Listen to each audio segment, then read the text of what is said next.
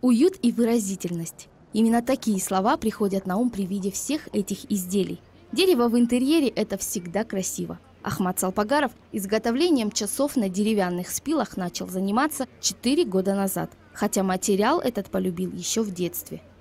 С детства, где-то в детстве я уже начинал там. Вот отец что-то привозил, там дрова, то все, я что-то уже ложки вырезал уже где-то в классе в пятом, шестом. На примере отца, который немало времени уделял ручной работе, мальчик рос любознательным и активным. Любил экспериментировать. Первым изделием, которое он самостоятельно изготовил, была ложка. Ложка была деревянная. Вот сам придумал, даже вот резет, резет сам придумал. Я не знаю, пацаном был, я уже не помню. Вот сам его придумал как-то и ложку вырезал. Мать постоянно потом вспоминала, говорит, вот то, что ты вырезал. Было такое. Вот где-то пятый, шестой класс вот деревянные ложки начал вырезать так. Просто от нечего делать. Ребенок же был. Вот первое изделие вот такое вот было, вот, как сейчас помню. Это ремесло Ахмата Беляловича успокаивает, радует и придает сил. Как признается сам мастер, время, проведенное за любимым делом, для него не работа, а отдых. Вот вяз красивый, вот орех, пожалуйста. Вот он действительно есть ценный лес. В основном вяз, орех вот самый красивый. И работать приятно с ним.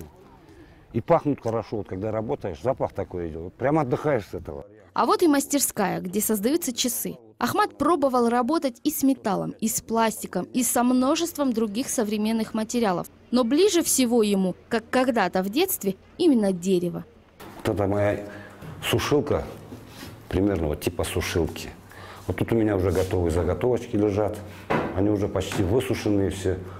Вот совсем уже без отделки, без ничего еще. После высушивания начинается процесс шлифовки. Весь спил обрабатывается шлифовальной машиной. Нужно отполировать до блеска, чтобы как стекло было. Вот тогда проявляется весь рисунок дерева. Вот нужно вот, чтобы можно было вот так вот пальцем водить, вот, даже страшно, что такое гладкое. Вот тогда весь рисунок дерева выявляется. Отшлифованный спил дерева всегда уникален. Он хранит свой запах. Как жаль, что наша камера не передает аромата, стоящего в мастерской в этот момент. Им хочется наслаждаться. Ну а пока мы этим занимались, мастер начал размечать циферблат. Примерно вот так вот получится. Вот конечный результат, весь циферблат вот так вырисуется. Такие изделия могут стать изюминкой любого интерьера. Поэтому так радует, что это ремесло сейчас вновь возрождается, передается из поколения в поколение, сохраняя обычаи и традиции старых мастеров. Айгуль Баранукова, Роман Баюра, Далиль Мирза, Архиз 24.